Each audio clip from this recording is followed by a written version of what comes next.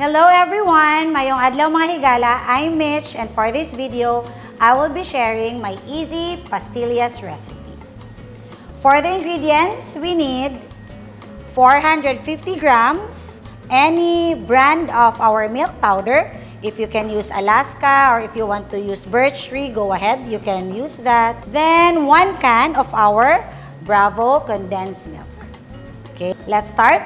In your bowl, just mix your powder and your condensed milk.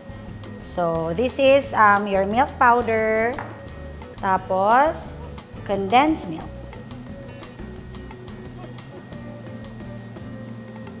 Mix this one until it forms a dough.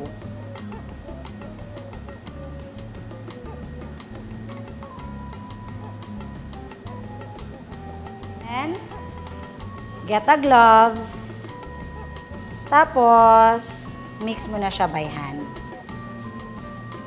By the way, if you want to add flavor like ube and pandan, you can use um, Bakersfield Flavocol. That's flavor and color already.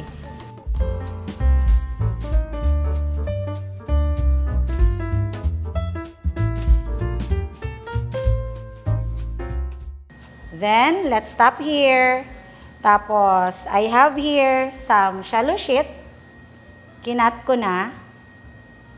Instead of round pastillas, I'll be making medyo tower na style or triangle style pastillas.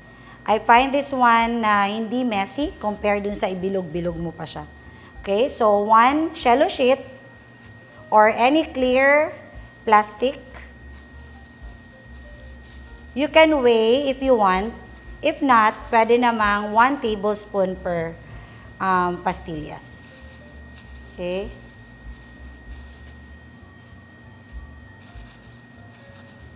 If you want to add flavor, for one recipe, add 1 to 2 tablespoon of your um, flavor of choice.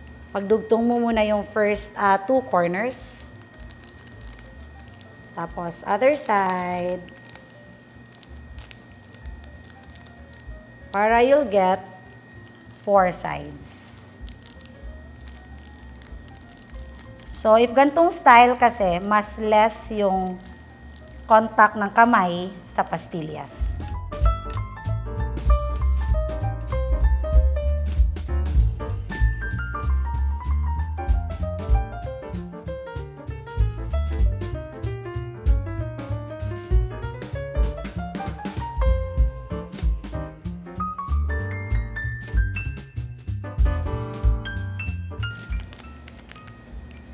Then, side.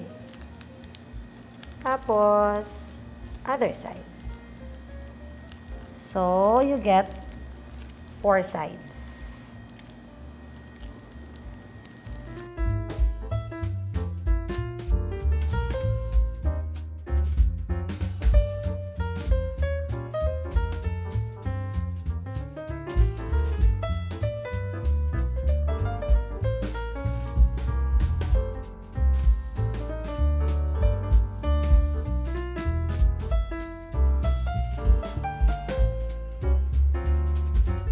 So this one is good for business. So one recipe of this is around 180 pesos only.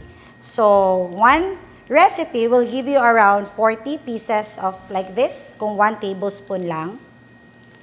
So if gawin mo siyang pang negosyo, like what I did, nag-prepare ako here, um, around 3 flavors. So nasa 4 pesos each. If you will sell 12, so